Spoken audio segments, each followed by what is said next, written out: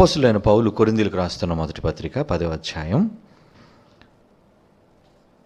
ఐదవ వచనాన్ని చదువుకుందాం ప్రియులరా. అపోసులైన పౌలు కొరిందీలకు రాస్తున్న మొదటి పత్రిక పదవ అధ్యాయము ఐదవ వచనము.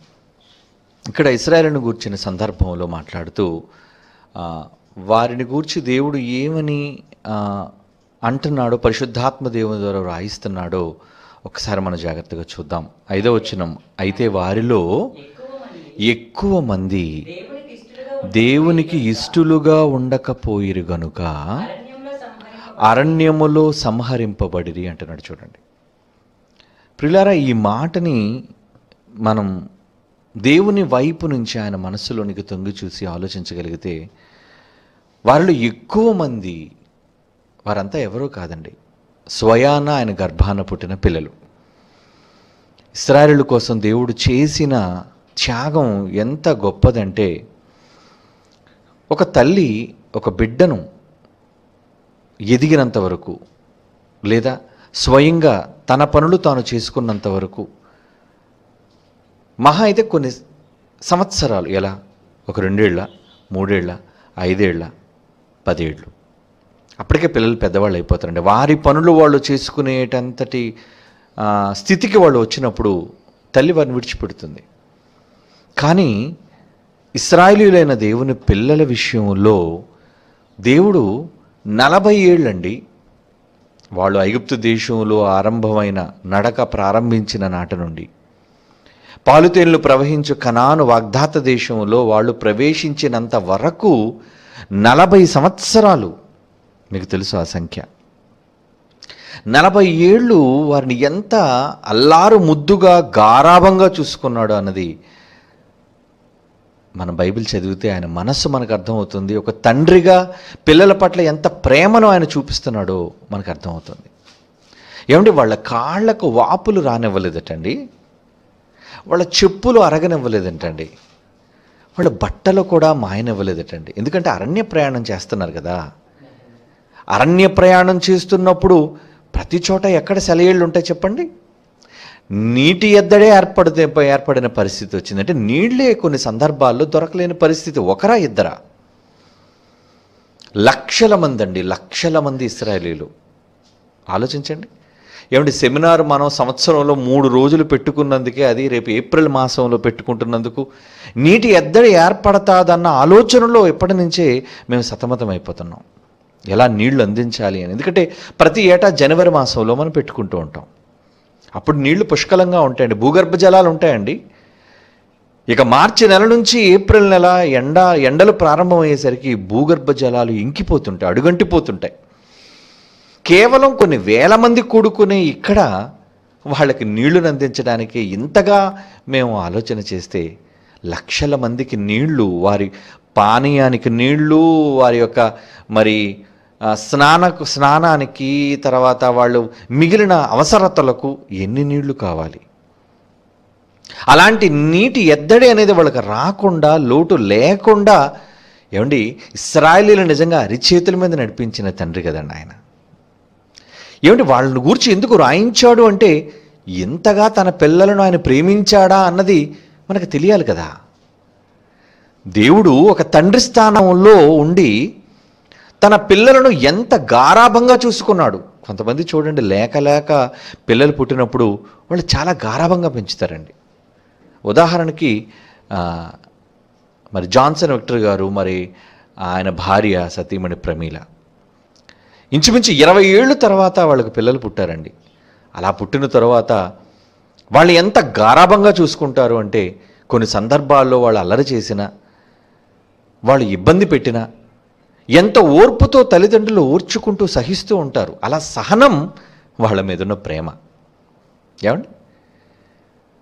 మనుషులకు మనుషుల మీదే ఎంత ప్రేమ ఉంటే ఆత్మలకు తండ్రి అయిన ఆయన తన పిల్లలైన ఆత్మల పట్ల ఎంత ఓర్పు సహనం కలిగి ఉన్నాడు అంటే చాలా ఓర్చుకున్నాడండి ఆయన. ఆయన వ్యతిరేకించారు దేవుడు ఎక్కడా అన్నారు మాకు దూడ కావాలి అన్నారు దేవుడుగా. వాటిని కూడా ఆయన భరించాడండి. కారణం ఏంటంటే తన పిల్లలంటే ఆయనకి ఎనలేని మక్కువ. ప్రపంచంలో ఏ తండ్రి ఏ తల్లి తన బిడ్డలను ప్రేమించనంత కంటే ఎక్కువగా ప్రేమించాడు ఆయన. అందుకే నెహమ్య గ్రంథంలో మంచి మాటలు దాని గురించి వ్రాయబడింది. ఒకసారి చదువుదామండి. నెహమ్య గ్రంథం తొమ్మిదో అధ్యాయం. మరల ఎక్కడికి వద్దాం? నెహమ్య గ్రంథం తొమ్మిదో అధ్యాయం.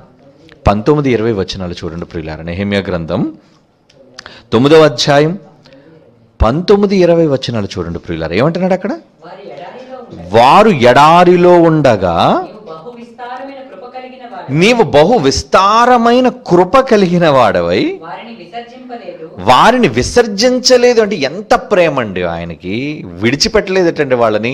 వాళ్ళు విసుక్కుంటున్నా తండ్రిని అనరాని మాటలు అంటున్నా వాళ్ళ పట్ల ప్రేమ కలిగే ఉన్నాడండి ఆయన. మార్గము గుండా వారిని తోడుకొని పోవుటకు ఆహా పగలు మేఘస్తంభం ఏర్పాటు చేశారటండి అంటే మేఘంలో ఏముంటాయి నీళ్ళు. వారికి ఎండ దెబ్బ తగలకూడదు. వారికి వడదెబ్బ తగలకూడదు. వేడి గాల్పులు రాకూడదు. ఏమండి? భయంకరమైన ఎండ తీవ్రమైన ఎండ ఉన్నప్పుడు చల్లటి మేఘం వచ్చింది అనుకోండి నల్లటి మేఘం. మనం ఎంత విశ్రాంతి పొందుతాం? చల్లటి గాలి వీస్తే ఎంతగా మనం ఉపశమనం పొందుతాం ఆలోచించండి. అలాంటిది ఏమండి ఎండవేళలో వాళ్ళు నడుస్తున్నప్పుడు పగలంతా ఉందా వాళ్ళకి మేఘస్తంభం? తన పిల్లల చర్మం కమిలిపోకుండా. అప్పుడప్పుడు చూడండి ఆడవాళ్ళు ఎక్కువగా తమ చర్మం విషయమై సౌందర్య విషయమై జాగ్రత్తలు తీసుకుంటూ ఉంటారు. అందుకే ఇవేవో సన్ స్క్రీన్ లోషన్స్ అని రాసుకుంటుంటారు కొంతమంది అయితే అంటే ఆడపిల్లలు యవన కాలంలో ఉన్న ఆడపిల్లలు ఎండలోనికి బయటకు వస్తే ముసుగు వేసుకుంటుంటారు మీరు గమనించి ఉంటారు రోడ్ల మీదకి వచ్చేటప్పుడు. ఎందుకు వాళ్ళు ముఖాన్ని కవర్ చేసుకున్నారు? ఏది ఇప్పుడు కరోనా వచ్చింది కాబట్టి మూతికి మాస్కులు పెట్టుకుంటారేమో కానీ దానికి మునుపు మనం ఆలోచిస్తే కేవలం వాళ్ళు కళ్ళు మాత్రమే కనబడతాయండి. వాళ్ళు తల కవర్ చేసుకుంటారు వాళ్ళ ముఖం అంతా కవర్ చేసుకుంటారు వాళ్ళు చున్నీడ్స్తో. ఎందుకు? ఎండ దెబ్బ. ఒకళ్ళు ఎండ తగలటం వల్ల ఎక్కడ వాళ్ళ ఛాయ వారి మేని ఛాయ పోతుందేమోనని భయం కదా? ఏమండి? వారి సౌందర్యం కోసం వారికున్న ఆలోచన. కానీ ఇస్రాయేలీల చర్మం కోసం దేవుని ఆలోచించండి నా పిల్లల చర్మం కమిలిపోకూడదు. వారి మేని ఛాయ తగ్గిపోకూడదు. నలబడిపోతారు వాళ్ళు. వాళ్ళకి ఎండ దెబ్బ తగలకూడదు. మేఘస్తంభాన్ని ఏర్పాటు చేసేటట్టండి టోటల్గా ఇస్రాయిలు ఎంతమంది అయితే వాళ్ళు నడుస్తూ గుంపులు గుంపులుగా ఉన్నారు టో- ఇస్రాయిల్ అందరి మీద మేఘాన్ని పరిచాడటండి పగటి పూట ఏం చేశారట ఆయన? మేఘస్తంభమును దారిలో దారిలో నైట్ టైం కదండి ఎంతకైనా కాగడాలు పట్టుకుంటారు పోనీ కాగడాలు చేసుకున్నారు అనుకోండి. వెలిగించడానికి వాళ్ళకి ఆయిల్ ఎక్కడిది? నూనె ఉండాలి కదా ఏమండి? మరి నూనె కొనుక్కోవాలంటే ఎక్కడ మార్కెట్ పోనీ నూనె తయారు చేసే ఆ రోజు ఆ నూనె తయారీ దుకాణాలు ఎక్కడున్నాయి చెప్పండి? అరణ్యంలో అది ఒకరా ఇద్దరెన్ని లక్షల మందికి నూనె కావాలి. కాగడాలు ఒత్తులు వెలిగించుకోవడానికి. ఏమండి? అందుకే ఏం చేశారట ఆయన? రాత్రి అగ్ని అగ్ని అంటే చూసారా? అంటే వెలుగు కావాలి వాళ్ళకి. చీకటిలో ఎలాగైతే మనం టార్చ్ కావాలో దేవుడు కూడా అండి తన పిల్లల మార్గంలో వాళ్ళకి ఏముంచారటండి వెలుగు. ఇంకా అరణ్యం చల్లదనం కదండి. వాళ్ళకి వేడి వెచ్చదనం రెండు ప్రయోజనాలు దానివల్ల. అంటే రాత్రిపూటేమో అగ్నిస్తంభం పగటిపూటేమో మేఘస్తంభం. ఎందుకు ఈ రెండు స్తంభాలని ఆయన ఏర్పాటు చేశాడు అంటే తన పిల్లలు ఆరోగ్యం విషయంలో ఇబ్బంది పడకూడదు. ఎందుకంటే కొంతమంది చూడండి భయంకరమైన ఎండలో ఒకవేళ వస్తే కొంతమంది పురుషులు కానివ్వండి స్త్రీలు కానివ్వండి ముఖ్యంగా వృద్ధులైన వాళ్ళు సొమ్మసిల్లి పడిపోతుంటారు వాళ్ళు. ఎందుకంటే వడదెబ్బ అంటారు. ఒక్కసారిగా వాళ్ళు కళ్ళు బయర్లు కమ్మి ఎండలోనికి వచ్చేసరికి ఆ ఎండ తీవ్రతను భరించలేక ఎంతోమంది శోష వచ్చి మరి రోడ్డు మీద పడిపోయిన వాళ్ళని ఎందరినో మనం చూసాం. సూర్యుని వేడి భరించలేక అలా తన పిల్లకి ఎక్కడ జరుగుతుందేమోనని ఏమండి? పగలు మేఘస్తంభాన్ని ఏర్పాటు చేశారట. చల్లదనం అలాగే నీడ వాళ్ళు మేనిఛాయ దెబ్బ తినకుండా ఏమండి? వారి చర్మం కమిలిపోకుండా తన పిల్లలంటే ఎంత శ్రద్ధ ఆయనకి? రాత్రిపూటేమో అగ్నిస్తంభం? నీవిచ్చిన మన్నాను ఇయ్యక మానలేదు.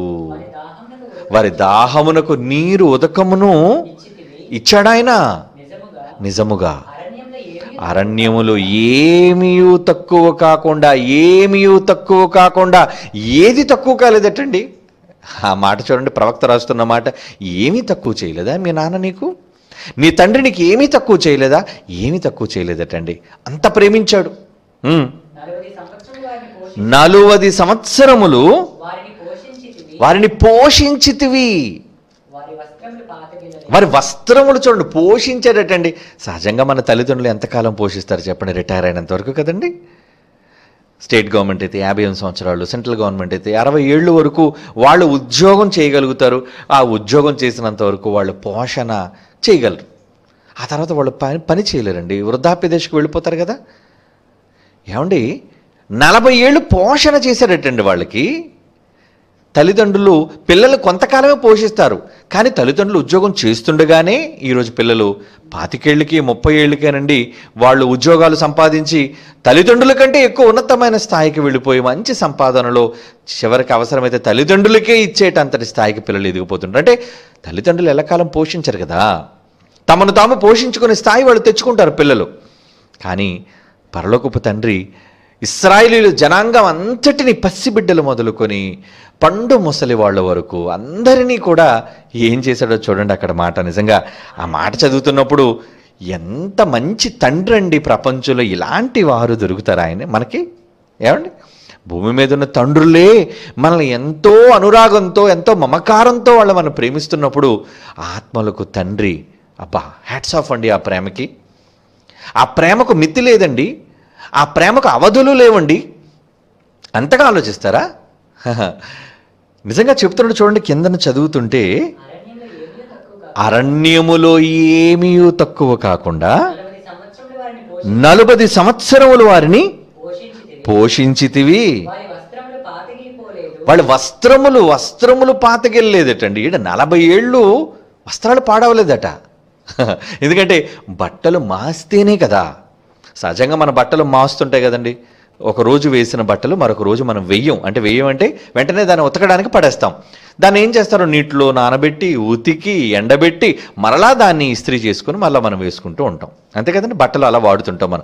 ఇలా బట్టలు పదే పదే ఉతికి వేయటం వల్ల దాన్ని వాడుకోవటం వల్ల బట్టలు పాతికిలిపోతాయి కదా? చివికిపోతాయి కదా బట్టలు? ఎక్కువ సార్లు ఉతుకుతున్నారు అనుకోండి ఎక్కువ సార్లు బండలు బట్టలు ఎండలో పెట్టారనుకోండి అవి చివికిపోతాయి. కానీ అలాంటి పరిస్థితి ఇస్రాయల్కు రాకుండా నాయన ఐగుప్తు దేశంలో మీరు ఏ డ్రెస్ అయితే మీరు వేసుకున్నారో మీకు చెమట పట్టలేదు. ఏమండి? వాళ్ళకి చెమట పట్టనివ్వకుండా వాళ్ళ బట్టలు పాతగలకుండా ఎప్పుడు చెమట పడతాయి చెప్పండి? ఏమండి? అలసిపోయినప్పుడు ఒక్కపోసినప్పుడు మాసి ఎప్పుడు మాసిపోతాయి? ఏమండి? ఎండలోనికి మనం వెళ్ళేటప్పుడు బయట ఉన్న దుమ్ము ధూళి మనకు పడుతుంది కదండి? అందుకే ఇంటికి వచ్చిన వెంటనే మనం ముఖం కడుక్కుంటాం కాళ్ళు చేతులు కడుక్కుంటాం. కారణం ఏంటంటే బయట ఉన్న డస్ట్ అంతా కూడా బాడీకి ఈ ఈ- ఈ మనం వేసుకున్న బట్టలకు కూడా అంటుకుంటాయి. అందుకే కదా మనం ఉతుక్కుంటాం. ఉతికినప్పుడు కొన్ని సందర్భాలు ఎంతో మురికి వస్తుంటుంది బట్టల నుంచి. అలాంటిది వాళ్ళ బట్టలకు మురికి లేదటంటే డస్ట్ కూడా ఎగరనివ్వలేదండి వాళ్ళ మీదకి ధూళి కూడా ఎగరనివ్వలేదు తన పిల్లలకి. తన పిల్లలకు ధూళి కూడా తాకడానికి వీలు లేదు. ఏంటండి మరి అరచేతుల మీద పెంచటమా? ఇంత అల్లారు ముద్దుగా ప్రేమించే తల్లిదండ్రులు ఎక్కడ ఉంటారండి ప్రపంచంలో? ఉండరండి.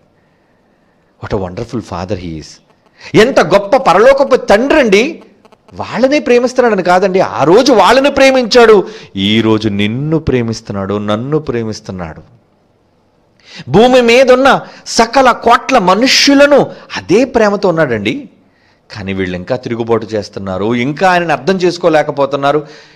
ఈరోజు ప్రతి మనిషి అనుభవిస్తున్న దేనినైనా చూడండి ప్రకృతిలో. ఒక ఎండ ఒక వాన నేల సారమా? చల్లదనమా? ఏమండి? ఇలా ప్రతి దానిని గురించి మనం నిజంగా పరిశీలించగలిగితే ఏమాత్రం ఓ తండ్రికి తన పిల్లల పట్ల అవిధేయులైన ఇస్రాయలీల్ని ఆ రోజు అంత ప్రేమిస్తే మరి ఈ రోజు అవిధేయులైన మనల్ని ప్రేమించటం లేదా ఆయన? నిజంగా ప్రేమిస్తున్నాడండి. మనం ఎన్నోసార్లు అవిధేయులుగా ఉంటున్నామండి ఆయనకి. మన పనులలో అవిధేయత అవునా? మన నమ్మకంలో అవిధేయత మనం ఆయన ప్రేమించటంలో అవిధేయత కాదా? ఆయన నిజంగా ఎక్కువ ప్రేమిస్తాం లేదండి. లేదు మనం బయటకు చెప్పుకుంటాం అంతే. ఆయన అంటే నాకు ఎక్కువ ఇష్టం అని కానీ మనకు మన కుటుంబం మన పిల్లలు మన ఉద్యోగం మన పనులు వాటినే కదా మనం ఎక్కువ ఇష్టపడతాం? వాటినే కదండి ఎక్కువగా మనం కోరుకుంటాం? ఏదో పైకి మాటల్లో చెప్పుకుంటాం దేవుడు అంటే నాకు ఇష్టం అని నిజంగా మనం గుండెల మీద చేసుకుని ఒక్కసారి మన మనస్సులో అంతర్ మనం అంతర్లీనంగా మనం ఆలోచించగలిగితే ఎవరిని ఎక్కువ ప్రేమిస్తున్నాం అనేది అర్థమవుతుంది. నిజంగా ఆయన ఎక్కువ ప్రేమించగలిగితే ఆయన కోసమే బ్రతుకుతామండి ఆయన కోసమే ఆలోచిస్తామండి ఆయన కోసమే కష్టపడతామండి ప్రతిరోజు. అలు పెరగకుండా ఆయన కోసం పని చేస్తామండి కానీ ఇస్రాయేలులు ఎంత చేసిన అనేకులు ఆయనకు ఇష్టలుగా ఉండలేకపోయారు కదండి. ఇంకా చదువుతాం నెహిమ్య గ్రంథంలో. తండ్రి ప్రేమ ఎంత గొప్పది అపారమైనదో చెప్తున్నాడు చూడండి. వారి వాళ్ళ కాళ్ళకు వాపులు రాలేదటండి. ఎక్కువ నిలబడితే అండి ఈ బ్లడ్ సర్క్యులేషన్ బాడీకి అందకపోవటం వల్ల అంటే ముఖ్యంగా పాదాల భాగంకి అందకపోవడం కాళ్ళు వాపులు వస్తాయండి. మీరు ఎప్పుడైనా గమనించారు లేదు వృద్ధులైన మీ తల్లిదండ్రులు కావచ్చు పెద్ద వయసు నలభై ఏళ్ళు పైన పడిన వాళ్ళు ఎవరినైనా మీరు ఆలోచించండి అడగండి. వాళ్ళు ఎక్కువసేపు నిలబడ్డారనుకోండి వాళ్ళ కాళ్ళు వాస్తాయండి వాపులు. కారణం ఏంటంటే వాళ్ళ బ్లడ్ సర్క్యులేషన్ సరిగ్గా ఉండదు. అందుకే రాత్రిపూట ఎప్పుడైనా కాళ్ళు వాస్తే డాక్టర్లు చెప్పే మంచి వైద్యం ఏంటంటే అమ్మా మీరు రాత్రిపూట పడుకునేటప్పుడు మీ పాదాల క్రింద ఒక ఎత్తుటి తలగడనో దేనినో ఏమండి? ఎత్తుగా మీ కాళ్ళను పెట్టి పడుకోండి. దానివల్ల ఏంటంటే ఆ వాపు తగ్గిపోతుంది. ఇదండి కాళ్ళు వాస్తే ఒక వైద్యుడు మనకి ఇచ్చే సలహా ఏంటంటే మీ కాళ్ళని ఎత్తుగా పెట్టి పడుకోండి తలగడ పెట్టుకోండి కాళ్ళ దగ్గర. ఆటోమేటిక్గా కాళ్ళు నార్మల్ అయిపోతాయి బ్లడ్ సర్క్యులేషన్ తల నుంచి పాదాల వరకు సాఫీగా జరుగుతుంది. ఎందుకంటే వెయిట్ అంతా బాడీ అంతా కాళ్ళ మీద పాదాల మీద పడడం వల్ల ఎక్కువ రక్తం ఏమండి? అక్కడ అక్కడ ప్రయాణం చేయటం వల్ల అవి ఎలాగా రక్తనాళాలు కానీ అవన్నీ చర్మం కానీ అదంతా ఉబ్బిపోతుందండి. అది కూడా జరగనివ్వలేదటండి దేవుడు నిజంగా చదవండి ఆ మాట ఎంత బాగుంది? వాళ్ళ కాళ్ళకు వాపు రాలేదు. వాళ్ళ కాళ్ళకు వాపు రాలేదట. ఇంకా? ఇదియుగాక రాజ్యములను జనములను వాళ్ళు వెళ్ళే ప్రతి చోట ఏం చేశారటంటే అందరినీ దాసోహం చేశారట తన పిల్లలకి. తన పిల్లల నడిచే మార్గంలో ఎవరు అడ్డొచ్చినా సరే వాళ్ళతో ముందుగా ఆయన యుద్ధం చేశారండి. ఆయన యుద్ధం చేశాడు. తన పిల్లల పక్షాన ఆయన చేసిన యుద్ధం ప్రియులారా ఒక మంచి మాట చదువుదండి. ద్వితీయోపదేశకాండం చూడండి ఒక మంచి మాట. ద్వితీయోపదేశకాండం ముప్పై రెండవ అధ్యాయం పదవచనం ద్వితీయోపదేశకాండం ముప్పై రెండవ అధ్యాయం పదవచనం అరణ్య ప్రదేశములోనూ అరణ్య బేకర ధ్వని గల పాడైన ఎడారిలోనూ వారిని కనుగొని ఆవరించి అబ్బో పరామర్శించి. ఎంత మంచి మాట అండి ఆహా ఈ మాట విన్నప్పుడు ఎంత హృదయం శాతి తీరుతుందంటే నిజంగా నాకైతే ఎంతో మనస్తృప్తిగా ఉందండి ఈ మాట వింటున్నప్పుడు. చూడండి ఎంత ప్రేమ. ఆ మాటలలో ప్రేమ ఉట్టిపడుతుందండి మన కన్న తండ్రి ప్రేమ. ఏంటది? అరణ్య ప్రదేశములలో భీకర పాడని ఎడారిలోనూ వాని కనుగొని ఆవరించి పరామర్శించి తన కనుపాపవలే వాని కాపాడను. కనుపాపవలే కాపాడదరటండి కన్ను సున్నితమైనది కదండి? ఆ సున్నితమైన కన్నును ఎలాగైతే కనుపాప కాపాడుతుందో అలాగే దేవుడు కూడా తనకిష్టులైన వారిని ఆయన కాపాడుకుంటూ వచ్చాడండి. అదే అండి ఇస్రాయేలుల చరిత్ర మనకు నేర్పించేది. ఇస్రాయలు జీవితం మనకు నేర్పించిన ఒక గొప్ప పాఠం అండి. హోషే గ్రంథం. హోషే గ్రంథం పదకొండో అధ్యాయం. మూడు నాలుగు వచనాలు చూడండి. హోషే గ్రంథం పదకొండో అధ్యాయం. మూడో వచనం నాలుగో వచనం చూస్తే తండ్రి ప్రేమ కొలత మనకు కనబడుతుందండి. పరిమాణం మనకు కనబడుతుందండి. ఏంటది? ఎఫ్రాయిము ఎఫ్రాయిమును చెయ్యి పట్టుకొని వానికి నడక నేర్పిన వాడును నేనే. చిన్నప్పుడు చూసారా? మనకి లేక లేక తొలిబిడ్డ పుట్టినప్పుడు. ఏమండి? వాళ్ళు చిన్ని చిన్ని అడుగులు వేస్తూ అప్పుడు అప్పటి వరకు ముందు పిల్లలు పడుకుంటారండి. ఆ తర్వాత ముందు బొమ్మర్ల పడ్డ నేర్చుకుంటారండి. అంటే వెళ్ళకిలా పడుకుంటారు. పొట్ట మీద వాళ్ళు పడుకోవడానికి తిరగబడుతుంటారు వాళ్ళు. వాళ్ళు ట్రై చేస్తుంటారు. ఆ తిరగబడిన తర్వాత వాళ్ళు ఏం చేస్తుందో తెలుసా అండి? వాళ్ళు పాకడం ప్రారంభిస్తారండి. జాగ్రత్తగా కాళ్ళని చేతులు ఉపయోగించి. ఆ తర్వాత ఏం చేస్తుందో తెలుసండి ఎక్కడైనా ఏదైనా గోడ లాంటివి ఏమంటే వాళ్ళు పట్టుకోవడానికి ఏమైనా ఉంటే అది పట్టుకొని నిలబడడానికి ట్రై చేస్తుంటాడు అలాంటప్పుడు మనం ఏం చేస్తాం? ఓ వీడు నిలబడడానికి ప్రయత్నం చేస్తున్నాడని మన బిడ్డని వెంటనే తల్లి కానీ తండ్రి కానీ చేయి పట్టుకొని ఏం చేస్తాం మనం? రెండు చేతులను పట్టుకొని ఓ నడిపిస్తుంటాం ఇప్పుడండి మరి ఈ మంచి పరికరాలు మనకు వచ్చేసిన తర్వాత వాళ్ళ తాలూకా చైల్డ్హుడ్ మెమరీస్ అంటారు. అంటే చిన్ననాటి జ్ఞాపకాలన్నీ కూడా భద్రపరిచేస్తున్నారు. అంటే వాళ్ళు ఎలా నడుస్తున్నారు వాళ్ళు ఎలా బోసి నవ్వులతో నవ్వుతున్నారు ఇవన్నీ రికార్డ్ చేసుకుంటాం కదండి. మా చిన్నప్పుడు కానీ లేదంటే అప్పుడు ఫోటోలు మాత్రమే. అది బ్లాక్ అండ్ వైట్ ఫోటోలు ఏమండి? మన తాలూకా కదలికలు మన తాలూకా నవ్వులు అవన్నీ కూడా కేవలం బొమ్మ రూపంలోనే తీసుకున్నాం. ఇంకా ఒక యాభై ఏళ్ళు అరవై ఏళ్ళు ముందుకు వెళ్ళిపోతే అండి ఆ ఫొటోస్ కూడా లేవండి సా సా- సాధారణమైన వాళ్ళకి. ఏమండి? వాళ్ళకి ఏ జ్ఞాపకాలు లేవు. మరి జైశాలి నా తండ్రి చిన్నప్పుడు ఫోటో లేదండి. అంటే ఆ చిన్నప్పుడు ఆయన ఎలా ఉండేవాడు ఎలా నవ్వేవారు? ఎందుకంటే వాళ్ళ తల్లిదండ్రులు పేదవాళ్ళు అప్పటికి కెమెరా సౌ సదుపాయం వాళ్ళకి లేదు. మధురమైన స్మృతులండి మధుర జ్ఞాపకాలు అంటారండి వీటిని. అవన్నీ ఆయన భద్రపరుచుకున్నాడు సుమా. ఎందుకంటే టోటల్ యూనివర్స్ అంతా కూడా రికార్డింగ్లో ఉంది మీరేమనుకుంటున్నారు? ఆయన ప్రతిదీ కూడా రికార్డ్ చేస్తున్నాడు. తన పిల్లల నడక తన పిల్లల పడక ఒకసారి అక్కడికి వెళ్ళొద్దామండి అంటే తాను ఎంతగా గుర్తిస్తున్నాడో అనడానికి మాత్రమే ఆ మాట ఒక్కసారి చదువుకుందాం. మళ్ళీ ఇక్కడికి వద్దాం ఈ మాట దగ్గరికి. దావీదు గారు రాస్తూ కీర్తన గ్రంథంలో ఏమంటున్నాడు అది? నూట ముప్పై తొమ్మిదవ కీర్తనలోని ప్రారంభ వచనాలు చూడండి. నూట ముప్పై తొమ్మిదవ కీర్తనలోని ప్రారంభ వచనాలు ఏమంటున్నాడు అక్కడ? యహోవా నీవు నన్ను పరిశోధించి నీవు అని ఎంతగా ఆయన కాన్సన్ట్రేట్ చేస్తున్నాడు తన పిల్లల మీద. ఆయన నేను కూర్చున్నట్టు నీకు తెలుసు. నేను లేచుట నీకు తెలుసు. నాకు తలంపు పుట్టక మునిపే. నా మనస్సులోనికి దూరిపోయి తొంగి చూస్తున్నావు నువ్వు. నా నడక నా పడక. నీవు పరిశీలన చేసి ఉన్నావు. నా చర్యలన్నీ నా చర్యలన్నిటినీ అంటున్నాడు చూడండి. అంటే మనిషితో చేసే ప్రతి పని ఇది చర్య అంటారు దాన్ని. దినచర్య అంటారండి. అంతే కదా? మనం చదువుకున్నప్పుడు దినచర్య అంటారంటే ఒక రోజులో మనం చేసే పనులన్నిటినీ కూడా దినచర్య అంటారు. మరి పుట్టినప్పటి నుంచి చచ్చిపోయినంత వరకు ఎన్ని దినాలు? ఆ దినాలలో ఎన్ని చర్యలు? అదే అంటున్నాడు. నా చర్యలన్నిటినీ బాగుగా ఏదో మామూలుగా తెలుసుకోవటం కాదండి బాగుగా బాగుగా బహుబాగుగా తెలుసుకున్నాడట. అంటే నా కొడుకు ఎప్పుడు నిలబడ్డాడు? నా కొడుకు మొట్టమొదట ఇప్పుడు నవ్వాడు? అప్పుడప్పుడు చూడండి. మన పిల్లలు ఎప్పుడైనా తొలి మాట అమ్మ అని కానీ నాన్న అని కానీ అత్త అని కానీ మాట్లాడినప్పుడు వెంటనే మనం నోట్ చేసుకుంటే "ఏ, మొట్టమొదటిసారి వీడు అమ్మని పిలిచాడు పలానా రోజు అమ్మని పిలిచాడు. తొలి పిలుపు. ఇవన్నీ కూడా మెమరీస్ అంటారు. మనం జ్ఞాపకం చేసుకుంటాం. ఏమండి? చాలామంది బైబిల్లో తమ పిల్లలు పుట్టిన తేదీలు రాసుకుంటారండి. నా కుమారుడు పుట్టిన తేదీ నా కుమార్తె పుట్టిన తేదీ రాసుకుంటారు కదా? కేవలం అవే కొద్ది జ్ఞాపకాలే మనకి. కానీ దేవుడికి నీ బ్రతుకంత జ్ఞాపకమేనండి. మీ చర్యలన్నిటిని చదవండి. ఆ మాట నా చర్యలన్నిటినీ నీవు బాగుగా తెలుసుకుని ఉన్నావు. తెలుసుకొని ఉన్నావు ఎంత బాగా తెలుసుకున్నావయ్యా? మాట నా నాలుకకు రాక మునుపే. అది నీకు పూర్తిగా తెలిసిపోయింది కదా. వెనక ముందు నీవు నన్ను ఆవరించి ఉన్నావు. నీవు నన్ను ఆవరించి ఉన్నావు ఆవరించి ఉన్నావు అంటే పిల్లలు నడుస్తూ తప్పటడుగులు వేస్తున్నప్పుడు ఏం చేస్తారండి? నాన్న కానీ అమ్మ కానీ అలాగా రెండు పక్కల వాళ్ళు చేయి ఎందుకంటే వాడు ఇటు తూగిపోతాడో తెలియదు అటు తూగిపోతాడో తెలియదు ముందుకు పడిపోతాడో తెలియదు వెనక్కి తూగిపోతాడో తెలియదు ఎంతో భయంతో కదండి మనం అలా అలా చేతులతో అలాగా వాడు స్పీడ్గా నడుచుకుంటూ వెళ్ళిపోతుంటాడు. మన కళ్ళు ఎప్పుడు వాడ మీదే గమనిస్తూ ఉంటాయండి మన కళ్ళు నీ చెయ్యి నా మీద ఉంచి ఉన్నావు ఇంకా ఇంకా ఇంకా నీ చెయ్యి నా మీద ఉంచి ఉన్నావు. ఏమండి ఎప్పుడైనా ఆయన చెయ్యి మీ మీద పెట్టిన ఫీలింగ్ మీకు కలుగుతుందా? ఏంటి చాలాసార్లు అంటే నేను గొప్ప కోసం చెప్పట్లేదండి. నా అనుభవాన్ని బట్టి నేను చెప్తున్నాను. కొన్ని కొన్ని సందర్భాల్లో మెట్లు దిగినప్పుడు లేదంటే నడుస్తున్నప్పుడు సడన్గా జారి పడిపోబోయి సెటట్ అయిపోతానండి మళ్ళీ నేను. అప్పుడు నాకు ఏమనిపిస్తుంది తెలుసండి యథార్థంగా చెప్తున్నాను. ఇదే మాట నాకు జ్ఞాపకం వస్తుందండి. నిజంగా ఇదే మాట. నేను దేవుడికి అంటాను తండ్రి నేను పడిపోవలసింది నేను పట్టుకున్నావు కదా. థ్యాంక్ యూ నాయన. అంటానండి నిజంగా. కొన్ని కొన్నిసార్లు తూగిపోబోతాం. కొన్ని కొన్నిసార్లు మెట్లో మెట్ల మీద నుంచి జారి పడిపోబోతుంటాం. లేదంటే ఏదో మన కాళ్ళకు అడ్డగా పడి నిజంగా పడిపోదుమేమో.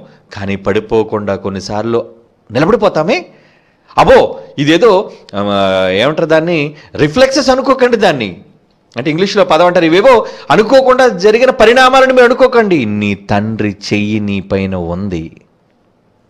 ఉందా? ఇప్పుడు నువ్వు ఫీల్ అయ్యారా మీరు అలాగా? అప్పుడప్పుడు చూడండి పిల్లాడు గబగబా వెళ్ళి పడుకోపోతే పడిపోతే వెంటనే తల్లి తండ్రి చేయి పట్టుకుంటారు. వాడు పడిపోడు వాడికి వాడికి ఊహ కూడా తెలియదు వాడికి నా తల్లి పట్టుకుందని. ఏమండి? తండ్రి పట్టుకున్నాడని జ్ఞానం వాడికి లేదు. కానీ వెనక ఒక చెయ్యి వాడిని ఎప్పుడు ఎప్పుడు ఎప్పుడు కాపాడుకుంటూ వస్తుంది కదా. ఈరోజు భూమి మీద ఉన్న ఎందరో కోట్ల మంది పిల్లల్ని ఆయన కాపాడుతున్నాడు. అందులో ఆయనకి ఇష్టలేని వాళ్ళైతే ఇక్కడ ఇష్టలేని వాళ్ళ కోసం చెప్తున్నాడు చూడండి. ఏమంటున్నాడు? ముందు వెనక ఉన్నాడట ముందున్నాడంట. నీవు నన్ను ఆవరించేసాడు చుట్టూ ఆవరించడం అంటే ఏంటండి? ఆవరించడం అంటే ఏంటి? ఇంతకు ముందున్నాడా వెనక ఉన్నాడా ఆయన? సహజంగా తండ్రి కానీ తల్లి కానీ పిల్లలు నడిపించేటప్పుడు అయితే ముందైనా పట్టుకొని నడిపిస్తుంటారు లేదా వెనకైనా పట్టుకొని నడిపిస్తుంటారు. ఈయన ఎక్కడున్నాడటండి? చుట్టూ ఉన్నాడట చూడండి. ఎందుకంటే ఆయన శక్తి కదా పవర్ అంటే ఈ ఈ త్రీ సిక్స్టీ డిగ్రీస్ అంటారండి. రౌండ్గా ఉన్నదాన్ని మూడు వందల అరవై డిగ్రీలు అంటారు.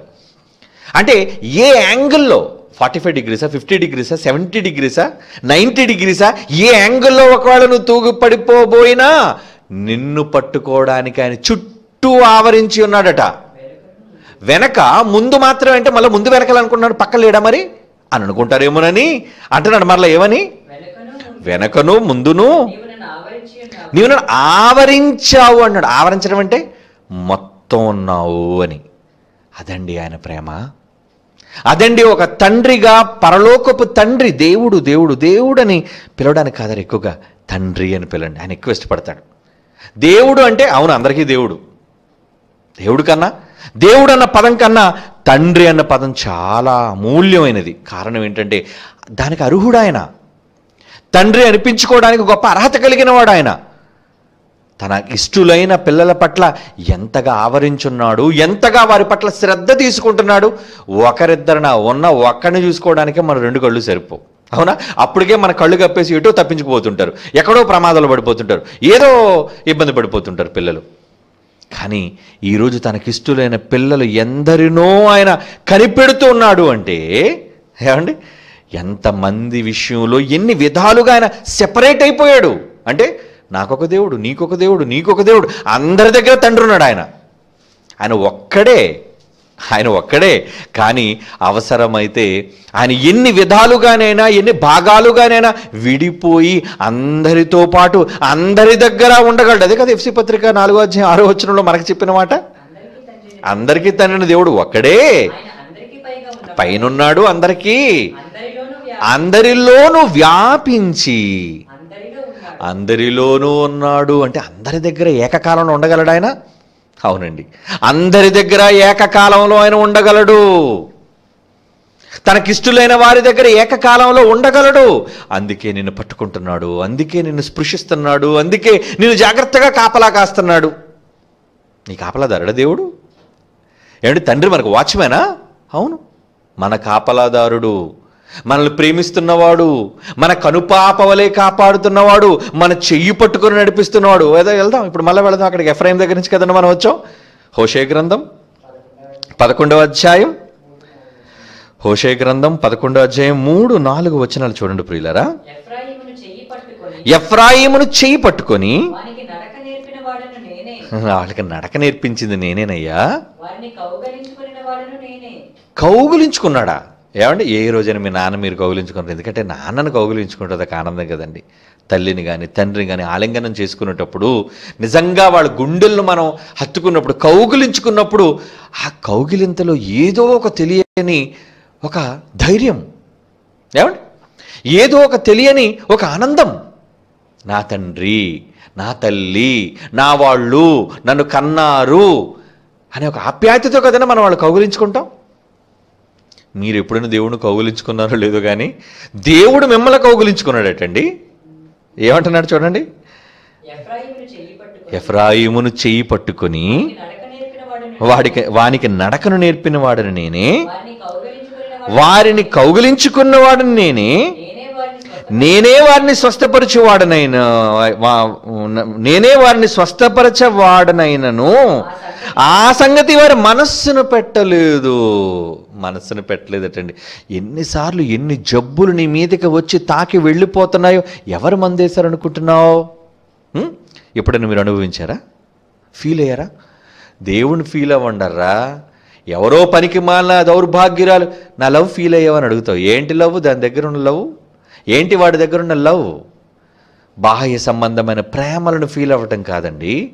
మనుష్యుల ప్రేమలను స్పృశించడం కాదండి. కని కంటికి కనిపించిన అదృశ్య దేవుని ప్రేమను ఫీల్ అవ్వగలుగుతున్నారు మీరు?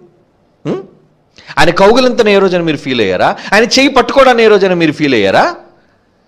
మీ మనస్సులో ఆయన ఉంటే కదండి ఇవన్నీ ఫీల్ అవుతారు. మీ మనస్సులో ఆయన లేడు. ఎవరుంటారు? ఎప్పుడు చూసినా ఎవరో తిరుగుతుంటారు మన మనస్సులో. కళ్ళు తెరిచిన వాళ్ళే కళ్ళు మూసిన వాళ్ళే. ఏమండి? చివరికి ఎంతోమంది వాళ్ళ కోసమే చేస్తున్నారు కూడా. ఇలాంటి పిచ్చి పనులు చేయకండి. దేవుడు వాటిని చూసి ఎంతో మనసులో నొచ్చుకుంటాడండి. మనుషులకు ఎక్కువ ప్రాధాన్యత కాదు. మనుషుల ప్రేమకు ఎక్కువ విలువను కాదు. పరలోకపు తండ్రి ప్రేమకు ఎక్కువ విలువ ఇవ్వండి. అవునర్రా? ఏమంటున్నాడు చదవండి మరలా మాట. వారిని నేను కౌగిలించుకొని వాడను నేనే. నేను వారిని స్వస్థపరచవాడనైనను. ఆ సంగతి వారి మనస్సును పట్టలేదు.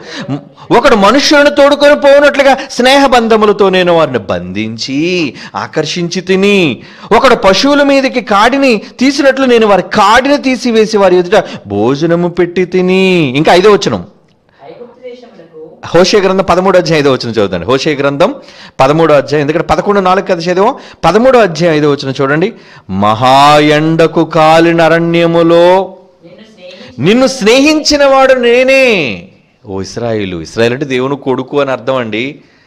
వాళ్ళు మాత్రమే కాదండి ఈరోజు మీరు దేవుని పిల్లలు గారా మీరు ఇస్రాయేలీలే. ఇస్రాయేలు అంటే దేవుని కుమారుడు అని అర్థం. మనం కూడా we are also sons of God మనం దేవుని యొక్క పుత్రులం.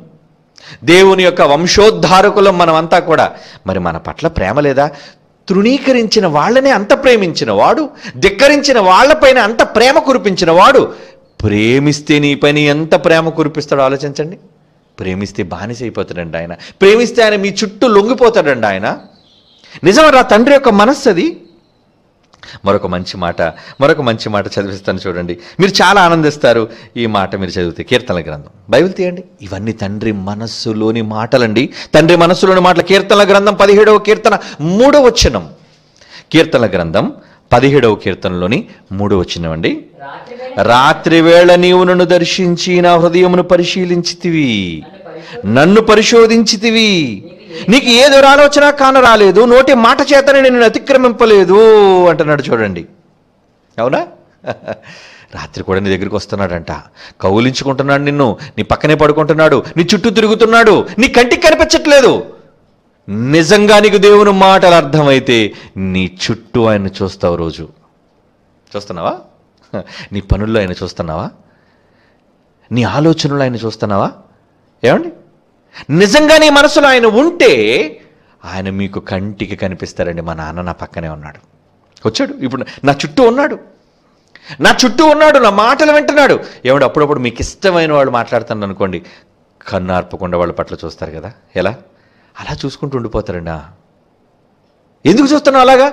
వాళ్ళంటే నీకు చాలా అమితంగా ఇష్టం. వాళ్ళంటే చాలా ప్రేమ నీకు. అప్పుడప్పుడు అంటుంటారు ఏంటి అలా కన్నార్పకుండా చూస్తున్నారేంటి? ఏమో నిన్ను చూడాలనిపిస్తుంది. అంతే కదండి? మనకు ప్రియులైన వారి పట్ల మనం అలా చూస్తామే.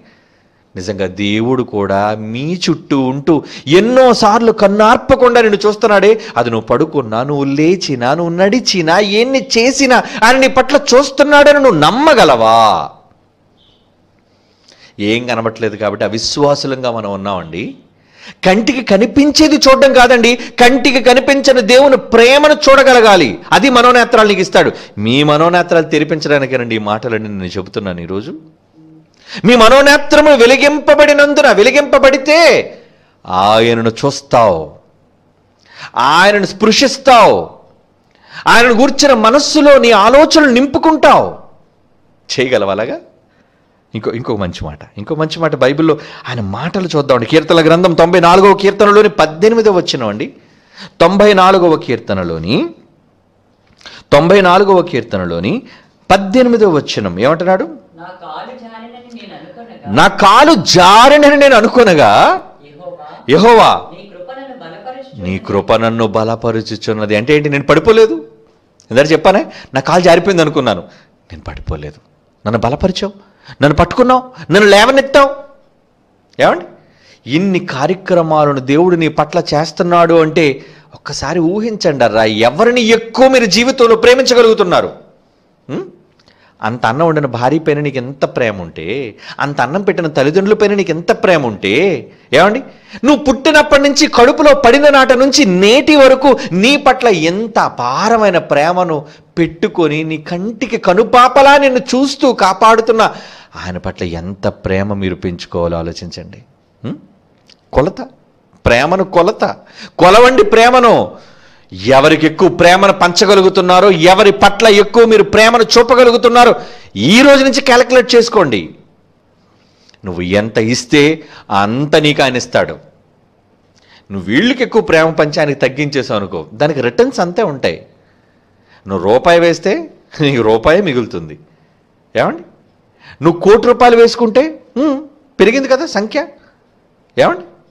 దేవుని పట్ల కూడా అంతే. నువ్వు చూపించే పరిమితి బట్టి నీకు దేవుని యొక్క అనుగ్రహం దేవుని యొక్క కృప దేవుని యొక్క వాత్సల్యం మీకు దక్కుతుందండి. మరొక మంచి మాట మరొక మంచి మాట చూద్దాం యో యోబు గ్రంథం తొమ్మిదో అధ్యాయం పదకొండు వచ్చిన ఎంతమంది భక్తుల నోటి ద్వారా తన మనస్సును వెళ్ళబుచ్చుతున్నాడు చూడండి ఆయన. ఇప్పుడు మనంతా చదివిన వివిధాలైన భక్తులు కదండి వాళ్ళంతా కూడా. యోబు గ్రంథం తొమ్మిదో అధ్యాయం పదకొండో వచ్చిన అండి. ఇదిగో ఆయన నా సమీపమున గడచిపోచున్నాడు గాని.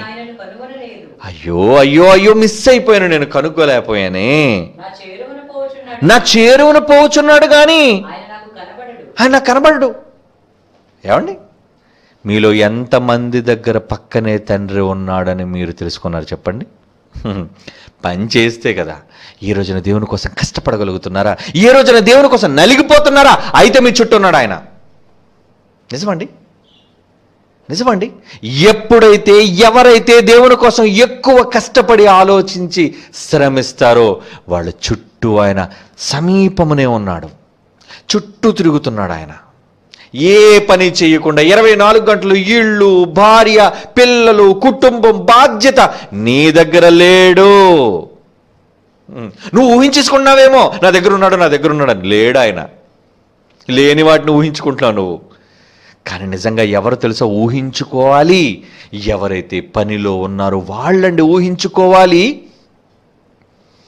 పనిలో ఉన్నవాళ్ళు సంతృప్తి. పడండి. ఏంటి తెలుసా? మీ నాన్న నీ చుట్టూ ఉన్నాడు. నీ తండ్రిని చుట్టూ ఆవరించి ఉన్నాడు. చదవండి మరలా ఆ మాట. ఎంత బాగుంది. ఎంత బాగుంది ఆ మాట. యోగ గ్రంథం తొమ్మిది పదకొండు. ఇదిగో ఆయన నా సమీపమున గడచిపోచున్నాడు. వెళ్ళిపోతున్నాడు వెళ్ళిపోతున్నాడు. నా సమీపం పక్కన పక్క నుంచే తిరుగుతున్నాడు ఆయన. వెళ్ళిపోయాడు ఇప్పుడే వెళ్ళిపోయాడు. కానీ నేను ఆయన కనుగొనలేను. నా పక్క నుంచే వెళ్తున్నాడు ఆయన. కానీ ఆయన నాకు కనబడడు. కనబడి నిజంగా దేవుడు కనబడతారు. మీకు కనబడ్డండి ఆయన. అదృశ్యుడుగు తండ్రి. కనిపించని శక్తి నీ చుట్టూ తిరుగుతుంది. కానీ నువ్వు తెలుసుకోలేకపోతున్నావు. నువ్వు గమనించలేకపోతున్నావు. నీ మనో ఈ కంటికి కనబడ్డం. ఈ కంటికి కనబడు కానీ మనోనేత్రాలు ఒకవేళ మీకు ఈ సంగతులు అర్థమైతే అప్పుడు ఏమనుకోవాలి ఏమనుకోవాలి తెలుసా? వచ్చాడు ఆయన. నా దగ్గరే ఉన్నాడు ఆయన. నా చుట్టూ ఆవరించున్నాడు ఆయన. నా చేయి పట్టుకున్నాడు ఆయన. నన్ను కౌగిలించుకున్నాడు గాఢంగా ఆయన. పని చేసిన వాళ్ళే ఆయన కౌగిలించుకుంటాడు. పని చేసిన వాళ్ళే చేయి పట్టుకొని నడిపిస్తాడు ఆయన. ఎందుకంటే ఆయనకి ఇష్టలుగా ఉండాలి కదా. ఇన్ని చేసినా వాళ్ళ కాళ్ళకు చెప్పులు అరగలేదట బట్టలు మాయలేదంట ఆకలి దప్పులు లేకుండా నీటినిచ్చి అన్నిటినీ పుష్కలంగా ఇస్తే అనేకులు ఆయనకి ఇష్టలుగా ఉండలేకపోయిరి. ఇష్టలుగా లేరు. ఇన్ని చేసినా ఇష్టలుగా లేకపోయారటండి. అదే మొదట మనం చదువుకున్న మాట. మరి ఈరోజు మీలో ఎందరు దేవునికి ఇష్టలుగా ఉన్నారు? ఇష్టలుగా అంటే ఎలా ఇష్టలుగా మారుతారు? ఈయన నా ప్రియమైన కుమారుడు. ఈయన నా ఉద్దేశములన్నిటినీ నెరవేర్చువాడు. నాకిష్టడు నా ప్రియమైన కుమారుడు. ప్రియము అంటే ఇష్టం కదండి. అవునా? యేసుప్రభువుని గురించి ఎందుకు అన్నాడు ఆ మాట? నాకు నచ్చిన పనులను చేసినవాడు. ఇలా ఎందరో ఉన్నారండి దైవజనులు ఎందరో ఉన్నారండి భక్తులు. వాళ్ళందరిని గురించి అన్నమాట అండి ఆయన. అవునా? వాళ్ళందరి గురించి అన్నమాట అండి మరి వాళ్ళందరి గూర్చి అన్న మాట నీ గూర్చి నీ తండ్రి అనగలుగుతున్నాడా? పోనీ కనీసం అనుకోవాలని నువ్వేమైనా పని చేయగలుగుతున్నావా? చేయగలుగుతున్నావా పని? ఏమంటే నిజంగా డేట్ అనౌన్స్ చేసినప్పటి నుంచి సెమినార్ పనుల్లో పిల్లలు ఇక్కడ నలిగిపోతున్నారండి. మగపిల్లలు ఆడపిల్లలు ఎందరో నా చెల్లెళ్ళు ఎందరో నా తమ్ముళ్ళు ఎందరో నా పిల్లలు. చిన్నపిల్లల మొదలుకొని వృద్ధుల వరకు ఇక్కడ నలిగిపోతున్నారు. కారణం మీరు వచ్చే డేటు దగ్గర పడిపోతుంది. పనులన్నిటినీ రెడీ చేయాలని ఎంతగా నలిగిపోతున్నారు ఎంతగా కష్టపడుతున్నారు వాళ్ళ దగ్గర ఉన్నాడు దేవుడు. లేదు మీలో చాలామంది మీ ప్రాంతాల్లో కష్టపడి తిరుగుతున్నారు సువార్త పరిచర్య చేస్తున్నారు ఎంతోమందికి త్యాగాలు చేస్తున్నారు. మీ చుట్టూ ఉన్నాడు దేవుడు. ఆయన పనులలో ఉన్న వారి దగ్గర ఆయన ఉంటాడు. ఆయన పనుల్లో ఉన్న వారి దగ్గర ఆయనకు వస్తాడు. ఆయన కౌగులించుకుంటాడు ఆయన చెయ్యి పట్టుకొని నడిపిస్తాడు నీ కాలు తొట్టిల్లకుండా. సమయలు గ్రంథంలో ఒక మంచి మాట చూద్దామండి మొదటి సమయలు గ్రంథం రెండో అధ్యాయం తొమ్మిదో వచ్చిన మొదటి సమయలు గ్రంథం రెండో అధ్యాయం. తొమ్మిదో వచ్చులు ఏమంటున్నాడు? తన భక్తుల తన భక్తులు నువ్వు ఎవరి భక్తుడివి? భార్య భక్తుడువా? పిల్లల భక్తురాలువా? ఉద్యోగ భక్తుడువా? తన భక్తుల పాదము తొట్టిల్లకుండా ఆయన వారిని కాపాడును. దుర్మార్గుల అంధకారమందు మాటు మణుగుదురు. బలము చేత ఎవడునో జయమునొందడు ఏమంటున్నాడు మొదటి మాట? తన భక్తుల పాదము తొట్టిల్లకుండా ఆయన వారిని కాపాడును కాపాడును. ఎంత ప్రేమిస్తున్న ఆయనని ఎందుకు మీరు ప్రేమించలేకపోతున్నారా ఎంతగా మిమ్మల్ని ఇష్టపడుతున్నప్పుడు ఎందుకు ఆయన ఇష్టలుగా మీరు జీవించలేకపోతున్నారు చెప్పండి. చివరి ఒక మాట చదువుకుందామండి. కీర్తన గ్రంథం. ముప్పై ఒకటవ కీర్తనలోని ఇరవై మూడు వచనం కీర్తన గ్రంథం. ముప్పై ఒకటి ఇరవై మూడు. కీర్తన గ్రంథం ముప్పై ఒకటో అధ్యాయం ఇరవై మూడో వచనం. ఏమంటున్నాడు అక్కడ? యెహోవా భక్తులారా మీరందరూ ఏం చేయాలి? లవ్ గాడ్ దేవుని ప్రేమించండి. యెహోవా విశ్వాసులను కాపాడును. గర్వముగా ప్రవర్తించు వారికి. ఆయన గొప్ప ప్రతీకారం కోపం. గర్వమొద్దు గర్వమొద్దు. గర్వం ఉంటే ఆయన చాలా కోపం ఆయనకి. అందుకే ఏమంటున్నాడు? యెహోవా భక్తులారా మీరందరూ ఆయనను ప్రేమి మీరందరూ ఆయనను ప్రేమించు. ప్రేమించండి ప్లీజ్ ప్లీజ్. ఎందరినో మీ బ్రతుకులలో ప్రేమిస్తున్న మీరు అందరికంటే ఎక్కువగా మీ పరలోకపు తండ్రిని ప్రేమించండి. Love God. దేవుని ప్రేమించండి. ఆయన భక్తులైతే మీరు యహోవాను ప్రేమించి తీరాలి. ఆయన ప్రేమించండి ప్రేమిద్దాం. మన మాటల ద్వారా ప్రేమిద్దాం మన క్రియల ద్వారా ఆయన ప్రేమిద్దాం మన పనుల ద్వారా మనం ప్రేమిద్దాం మన శ్రమదానం ద్వారా ప్రేమిద్దాం మన త్యాగాల ద్వారా ప్రేమిద్దాం. ఎప్పుడు ఆయన ప్రేమిద్దామరా ఎల్లప్పుడూ ఆయన ప్రేమలోనే మునిగిపోదాం. మనుషుల ప్రేమలో మునిగి తేలిపోవాలనుకుంటారు కదండి. ప్రేయిస్తుంటాడు. ప్రియా నీ ప్రేమలో మునిగిపోవాలనుంది. ఆ మునిగిపోతావు. మరి పైకి తేలవు. ఉద్దర్రా వాళ్ళు మిమ్మల్ని ముంచేస్తారు. వాళ్ళ ప్రేమలు ముంచేస్తాయి. వాళ్ళ తాలూకా ఏమండి? అభిమానం మిమ్మల్ని ముంచేస్తుంది. కానీ ఎప్పుడూ మిమ్మల్ని కాపాడే ఒక చెయ్యి ఉంది. అదే మీకు ఇష్టమైన మీరు ప్రేమించవలసిన మిమ్మల్నే ప్రేమిస్తున్న మీ ప్రియ పరలోకపు తండ్రి. యహో భక్తులారా ఆయన ప్రేమించండి. Love God God bless you